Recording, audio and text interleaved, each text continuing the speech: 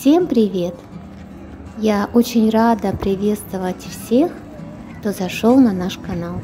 И в зависимости от того, в какое время вы смотрите это видео, я хочу вам пожелать доброго утра, хорошего дня и хорошего вечера. Прошлое видео нашей прогулки по Кракову завершилось на том, что мы подошли к костелу Петра и Павла. Гуляя по историческому центру Кракова и любуясь его прекрасной архитектурой, невозможно не заметить этот костел, за который взгляд цепляется сам по себе. И оказывается, что это не просто ощущение, а оригинальная архитекторская задумка. Костел святого Петра и Павла расположен на улице Гродской, которая связывает между собой Сукенницы и Вавель. И расположен он немножко вглубь от края улицы, и за счет такого необычного расположения сразу обращает на себя внимание. Зачем это сделано? Дело в том, что строительство костела святого Петра и Павла в Кракове было начато в 1597 году орденом иезуитов. Этот участок земли был выбран не потому, что он так уж идеально подходил для такого сооружения, а потому, что он был в центре города – из всех незанятых земельных участков на то время соответствовал замыслу возводимого здания лучше остальных. Архитекторы рассудили так. Если возвести костел таким образом, как и остальные городские здания на улице, то он затеряется и на него мало кто обратит внимание. Надо заставить прохожих обратить внимание на костел – и на основе этого было принято решение возвести костел немного в стороне от улицы, чтобы прохожим было удобно его рассмотреть и не задирать так высоко головы вверх. Надо отдать должное сообразительности архитекторов. Перед входом костел на постаментах стоят фигуры 12 апостолов – начала XVIII века, которые также очень сильно обращают на себя внимание и служат необычным акцентом. Оригинальные скульптуры сильно пострадали от погодных условий, и их поместили в исторический музей, а возле костела установили точные копии из аналогичного материала. Внутри костел святых Петра и Павла очень красив. Большое впечатление производит главный алтарь костела, который был спроектирован в стиле барокко в 1735 году.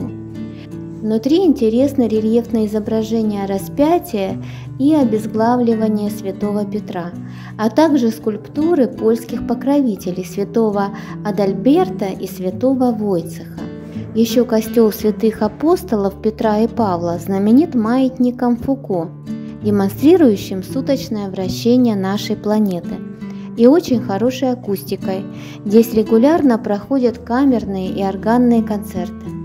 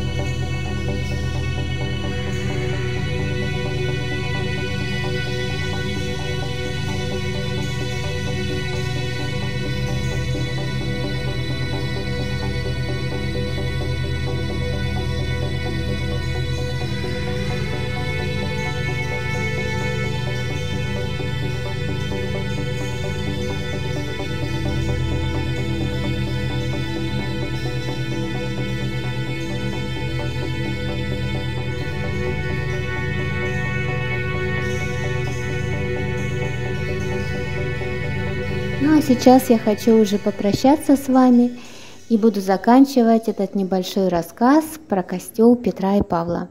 От души вам желаю крепкого здоровья, мирного неба и душевного спокойствия. Ну и, конечно же, до новых встреч на нашем канале.